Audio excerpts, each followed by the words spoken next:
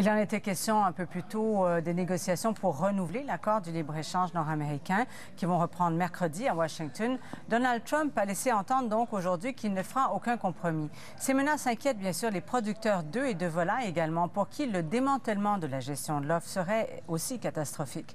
Sébastien Desrosiers. Marise Labbé est entrepreneur agricole depuis plus de 25 ans. Pour elle, c'est une affaire de famille. Mon père est en production laitière. J'étais, c'était familier pour moi d'être en production animale.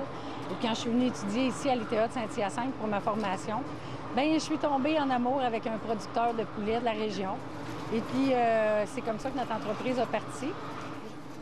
Ensemble, ils ont près de 70 000 poules, une réussite qu'ils souhaitent léguer à la prochaine génération. On a deux belles filles qui reviennent euh, sur l'entreprise dans quelques années quand elles vont avoir terminé leurs études. Mais sans gestion de l'offre, les filles pourraient ne jamais prendre la relève. Euh, on va servir peut-être de monnaie d'échange euh, pour un paquet de choses et puis pour euh, une entente probablement qui est super importante pour le Canada, mais nous, on a besoin de ça pour être capable, chacun sur nos fermes, de continuer à vivre. En fait, selon une étude commandée par la coop fédérée, advenant le démantèlement de la gestion de l'offre, la part de marché de la production canadienne d'œufs diminuerait de 80 à 90 tandis que la part de marché de la production de poulet baisserait de 40 à 70% La production de dinde, elle, devrait probablement cesser complètement. La compétition américaine serait tout simplement trop forte. Ici, nos producteurs, en moyenne, possèdent 25 000 pondeuses chacun au Canada. Aux États-Unis, la moyenne des 100 plus gros producteurs, c'est 2,5 millions de pondeuses chacun qu'ils possèdent.